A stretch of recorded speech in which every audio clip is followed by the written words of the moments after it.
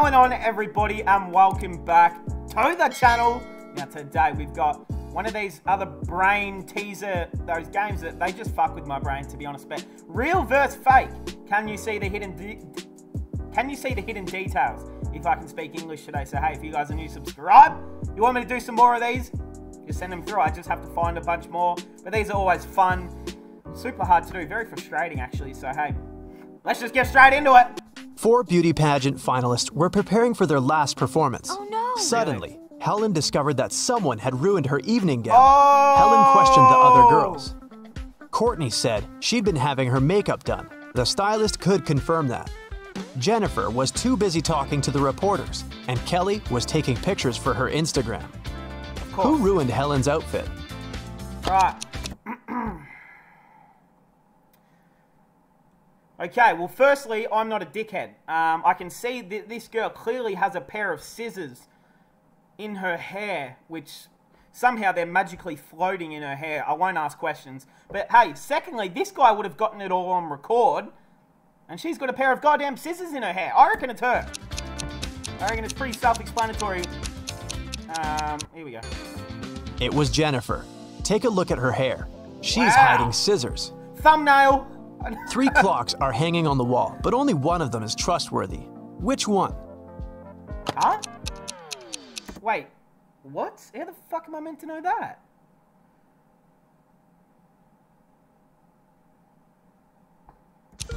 So that one's swinging that way. That one's swinging that way.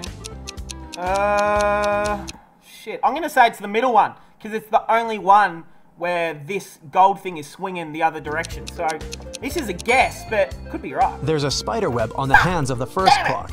It means they haven't moved for a long time. The time this clock shows can't be correct. The second clock has some of its numbers positioned in Oh my god, I didn't even notice that. That is that is bad from me. That is the my bad. order. 12 and 9 are mixed up, but the third clock looks trustworthy. That's my bad. Professor Harold left his office at about 9 p.m. He got caught in heavy rain on the way home. Really? It was raining all night, and the next morning, Professor Harold was late for work because of traffic jams. When he finally arrived at his office, he found that someone had broken the lock and covered all the walls No! with graffiti. The man interrogated four suspects who had recently failed his test. Jenny said she'd done yoga and gone to bed early. Rick was in the gym all evening. Lily was hanging out with her boyfriend in the park, gazing at stars. And Vicky worked the night shift at the movie theater. Who's lying? All right, it's a pretty easy one actually. I don't know if you guys caught it, but I think it was this this uh this uh this lady here. She said that she was in the park all night with her boyfriend. That's cap. That's an absolute lie because wasn't it pouring down with rain that whole night? Isn't that what they said? It's got to be this girl. You were nowhere but graffitiing this man into a little gremlin on the wall. Exposed. Caught you in 4K, lady. You were not out in the park. It's Lily. It was raining all Yeah! night, and she couldn't be watching stars in the park. Yeah. Good to see I got Take a look right. at the picture. Can you spot a thief? Huh? Can I spot a thief? I mean, shit, she's got the nice uh, Louis Vuitton bag here. I mean, she might have stole it. Uh, a thief. Uh, I mean, she's got her phone out. Don't know what's going on here. She's just sitting down. Um, oh, look at this little bastard down here. Do you guys see it? Look at the bottom left corner. There's this guy in a balaclava. What a weirdo. What a weirdo. I didn't even see it at first. He's hiding behind this tree. He's a scary man. Parents went to the country and left their son Jim and their dog Chuck alone for one evening. Yeah. It was Friday night, and Hey, Jim Chuck. decided to throw a party. He invited three of his friends. Nice. When they came over, Chuck began to bark at the guests. Come on. So Jim locked the dog in his parents' bedroom. Oh. Half an hour later, Jim decided to visit the pet. But Oh. when he opened the door, he discovered the dog was gone, even though all the windows were closed. Jim questioned his guests.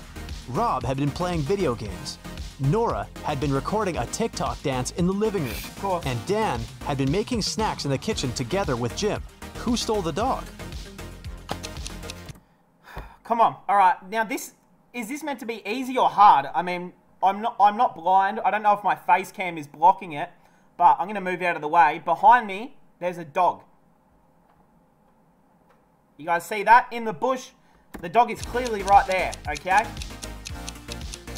I'm gonna need something a bit harder um, than that because you're not gonna trick me. Jim's parents pranked him. See? They're hiding Oh, in the that's bushes, his and the and dog dad? is with them.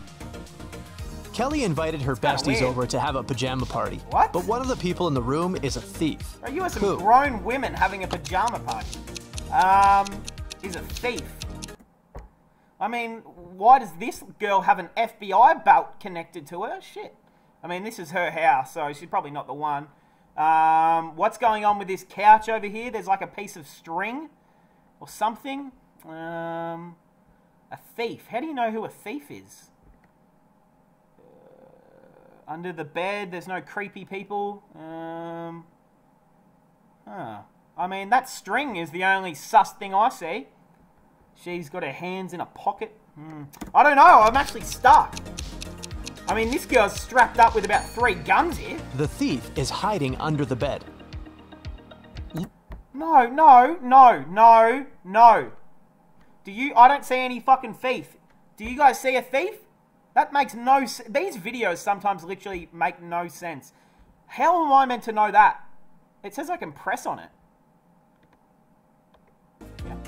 How the fuck am I meant to know that? We didn't see anything under the bed. Oh, you can. Oh, I didn't see that. The thief Oh, is hiding under that's the bed. bad. Look at the picture. Who will manage to escape the prison? I mean, I'm willing to say the one that's not in a chain around its leg. Probably this guy, right? Um. Yeah, I mean, that seems pretty simple, doesn't it?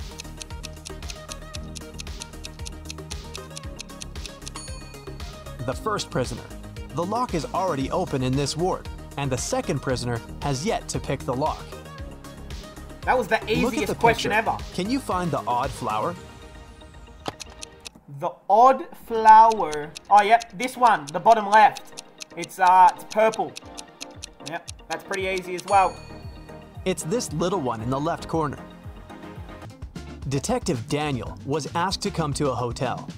Someone had robbed the most expensive room there. Oh. The detective checked the footage from the security cameras, but didn't see anything suspicious. He questioned the hotel guests. Karen showed him a theater ticket and said she'd visited the opera the evening before. Jane was very tired, so she went home and fell asleep. Harold spent his evening by the swimming pool and didn't notice anything suspicious. Can you help Detective Daniel to identify the robber?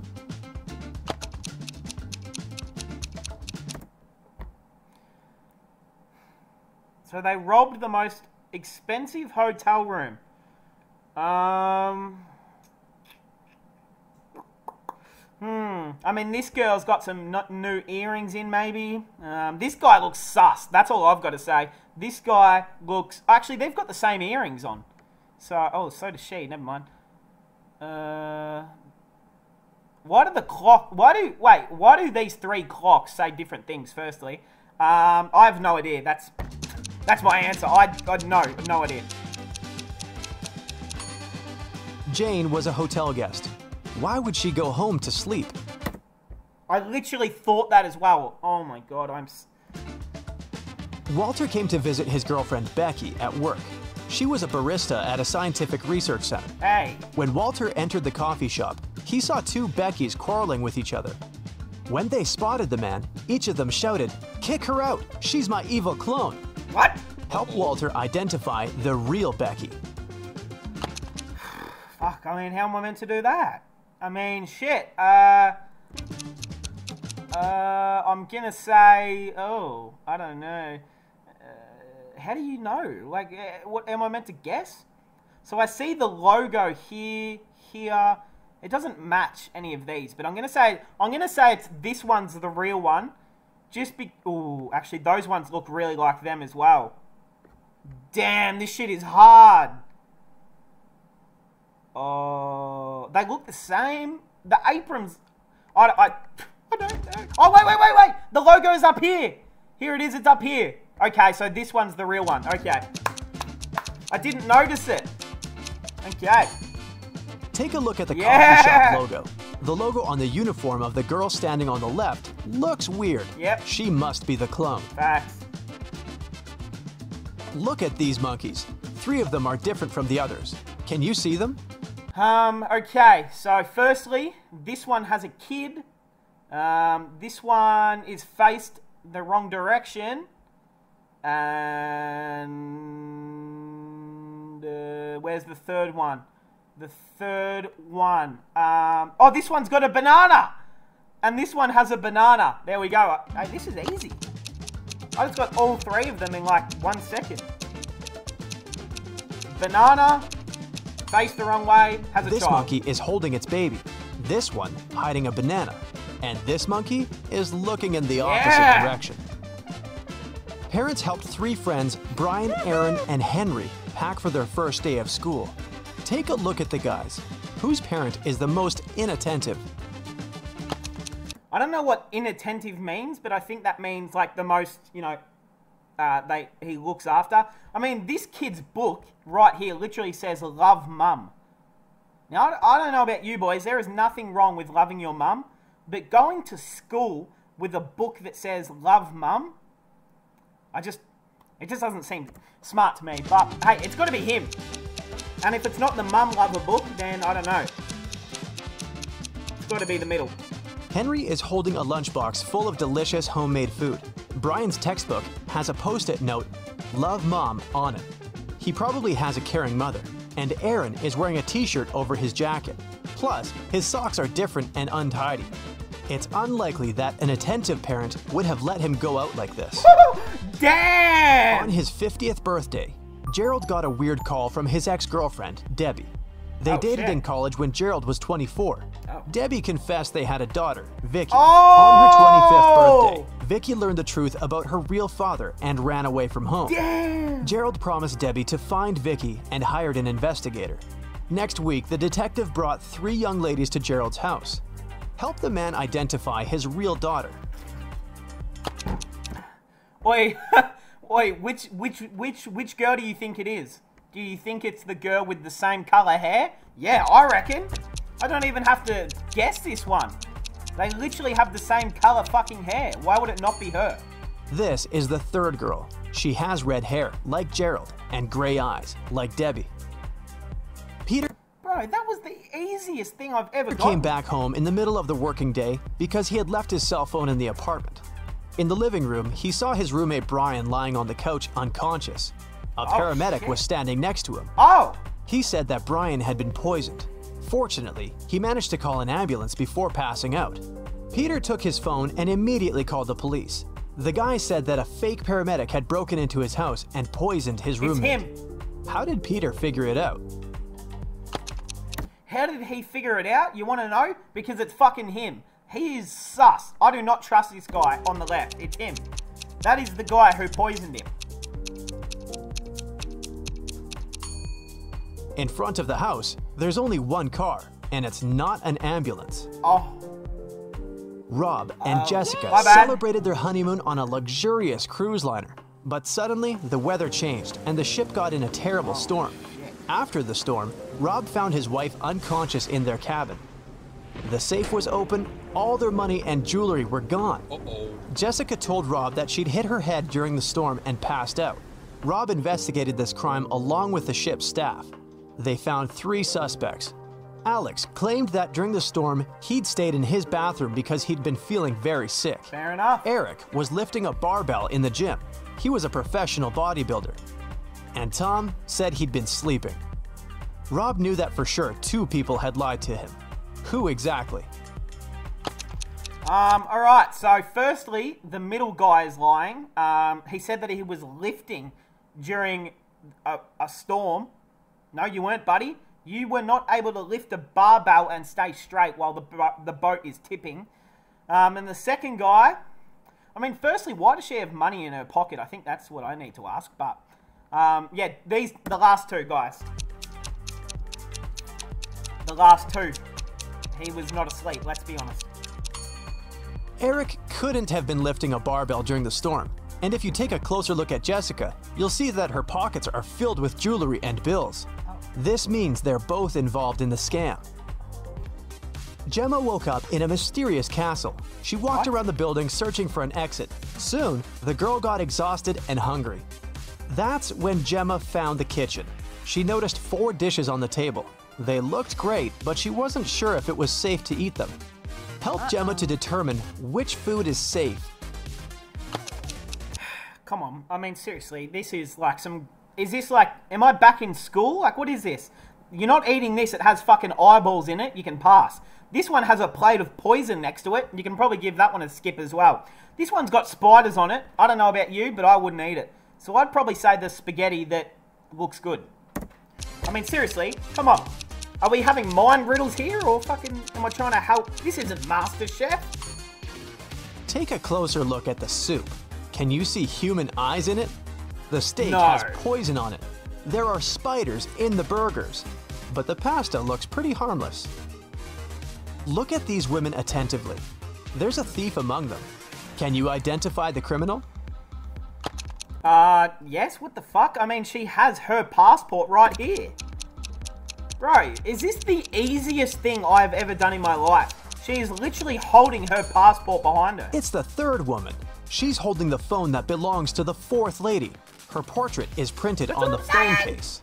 Damn. In the morning, Dr. Jill arrived at the hospital and went to the ward to meet new patients. When Jill saw them, she understood immediately that one of the patients was fake. Which one?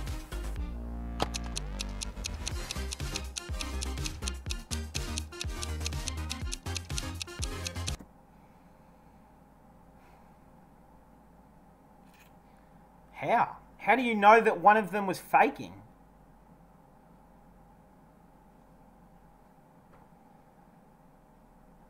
I mean, they're all smiling. I mean, are you really sick? Like, I don't even know. It's the first patient. The hair color of the woman in the photo is different from hers. Oh, that's Nurse my Zoe bad. received an anonymous message claiming that a vampire had broken into the hospital. While inspecting the wards, Zoe ran into three people in the hallway Jules, Sam, and Debbie. Help Zoe figure out which of them is the real vampire. Is this a, is this what? Bro, two of them have blood on their mouth. One of them has it on his neck. But then again, here's no no no no. Here is my thought right here, everyone. Listen to this. So these two, I think they're like holding hands. So they're actually together. They're a couple, and this is her lipstick that's gone over his uh, lips and neck. So it's not them two. It's her. She's got a red thing in the in her bag. It's her. It's got to be her. The first girl. Look at her bag. That's my prediction. Debbie has red lipstick all over her face because she came over to visit her boyfriend, Sam. Look, they're secretly holding hands. Yeah, we got Sam it. also has traces of Debbie's red lipstick Woo! on his face and neck. My bro was getting it in the toilet. Fair enough. And Jules is carrying a huge backpack with a red stain. Yeah. She must have stolen some donated blood. Oh, It was Halloween night, and Joy was preparing her house for a party. Suddenly, a group of people in scary costumes rang Joy's doorbell and shouted, Trick or treat! Joy went to the kitchen, opened the fridge, and found out that all sweets prepared for unexpected Oh! guests had oh. disappeared. She called her three sisters and questioned them.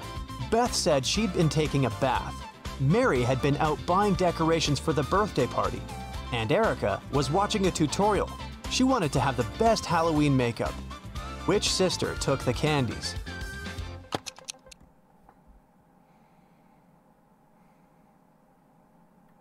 The first girl. Has to be the first girl. The first one. Uh, you were taking a bath? Mary. She said she had bought some birthday decorations, but it was a Halloween party. Oh. Nancy has been dreaming of visiting an exhibition of her favorite artist for ages. When the exhibition finally arrived in her town, Nancy called three of her friends to invite them to go with her, but they all refused. Oh, that's Wendy said she was going to a concert and had already bought the tickets. Okay. Shannon said she was sick and didn't want to leave home. And Vicky had to take her sister to a dance class. Nancy got upset and decided to put off her visit to the museum until the next day. After a couple of hours, Nancy looked through her friend's social media and got very angry. One of her friends lied to her. Who was the liar? Uh, what? You, uh, probably the one that's. What? I'm so confused. Just end the video. What? I'm. I have no idea which one. Oh, that made no sense to me. I'm gonna be real. It was Shannon. Okay, let's shout out to Shannon. Eh, that is gonna She's- cap it off, guys. Real versus fake. Can you tell hidden date details? Some of these were piss easy. Some of these made no sense, and some of these were actually quite hard. So, hey, if there is any any other sort of videos like these, let me know. Send me a bunch of links. I'm down to react to some different stuff, so let me know. But hey, that will cap it off, guys. I hope you guys enjoyed, and I'll see you guys in the next one.